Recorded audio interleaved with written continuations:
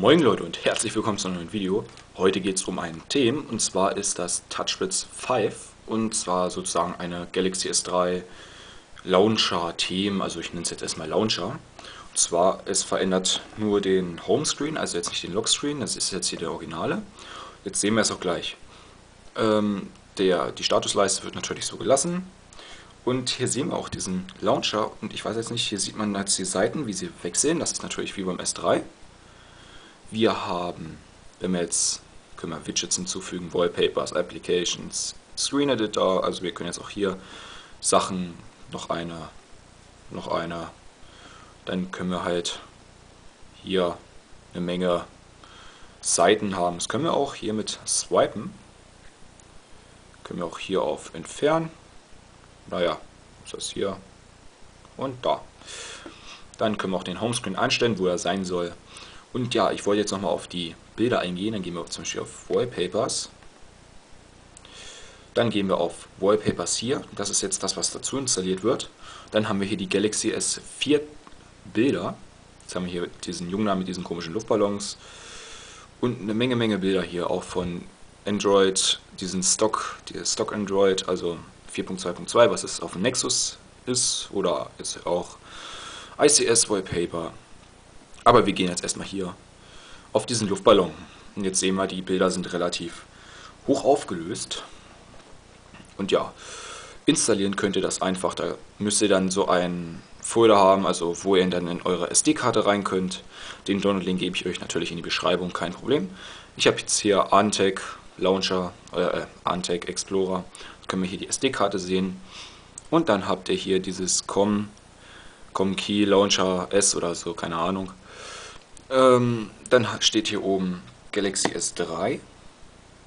Wir müssen das mal scharf stellen, das Handy ist so groß. Da, Launcher S3 heißt das Ganze. Dann geht ihr auf OK, Install und dann habt ihr hier einmal die Xperia Launcher oder was ihr auch für ein Handy habt. Und dann haben wir den S3 Launcher, den klickt ihr drauf und dann habt ihr das. Ihr könnt ja auch sehen, es verändert auch Icons, zum Beispiel jetzt hier die Kamera, Einstellungen. Ja, Taskmanager ist dazu installiert worden. Ähm, und Musik wird natürlich auch geändert. Und man sieht jetzt hier natürlich auch die Animation, wenn man das öffnet, dass das so hoch swiped. Hier können wir jetzt durch die Sachen scrollen, wie gehabt. Bleiben wir in Apps, dann können wir hier in Widgets gehen, dann können wir aber nur einen Folder machen, also jetzt nicht ähm, die Widgets hier bei Android 4.2, äh, 4.0 haben, weil ich habe hier 2.3. noch drauf. Hier können wir auf unsere Downloads gehen. Naja, gut, dann ist das nicht aktiv ja, die Oberfläche hier, die läuft sehr flüssig und sehr stabil, also sie ist mir noch nicht einmal abgestürzt. Ja, ähm, Kamera können wir auch alles machen und zwar hat die ROM ein Bug und zwar, oder ein Fehler, und zwar können wir jetzt hier den Bildschirm, haben, haben wir hier jetzt geändert, diesen Wallpaper. Aber wenn wir zum Beispiel jetzt in die Tastensperre gehen und 20 Minuten später irgendwann mal wieder drauf gucken, hat sich der Desktop verändert. Und zwar dann ist dann zum Beispiel jetzt, ähm, sagen wir jetzt mal, hat sich das jetzt auf das hier geändert. Einfach so sozusagen wie bei Windows 7 so eine Live-Kachel, äh, dass da ganz, ganz, ganz viele Bilder immer hintereinander kommen. Aber relativ nicht so schlimm. Also ich sag da, mir ist das egal. Ja, ähm, nicht wundern, dass das hier äh, ein bisschen langsamer läuft. Ich habe das Xperia X10, das ist natürlich so ein Mist-Handy, das ist nicht so schnell. Also ich habe es jetzt hier mal auf dem Geo mal ausprobiert, also es läuft eigentlich relativ flüssig.